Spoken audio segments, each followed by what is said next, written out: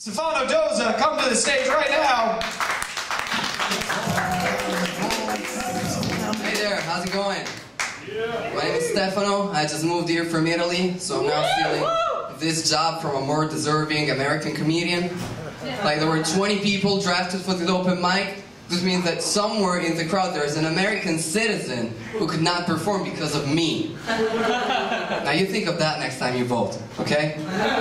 By the way, is there any snooker fan? Anyone who watches snooker? I like to imagine that the commentators are always really high on marijuana. You know, you know how they go like, wow, that was a fantastic putt.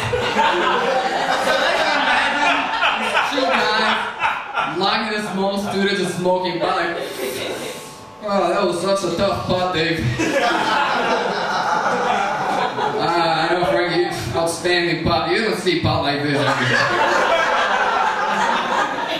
have never lied to you during my campaign. I do have to admit, though, that I did lie to you right now.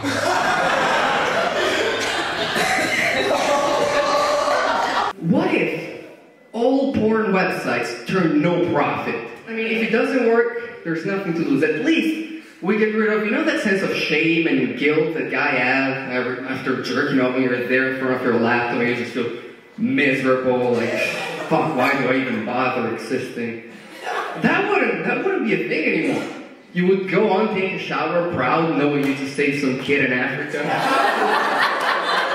Your wife finds porn in your history. So, I mean, someone's got to save those kids, you know. So I, I did it for the kids. I did it for the kids. Before this, only two kind of people could say that phrase after jerking off. Sperm donors, and of course pedophiles. The officer, I, I don't know, I did it for the kids.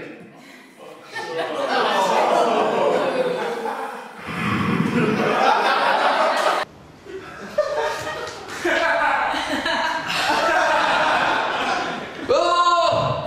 You! You're shit!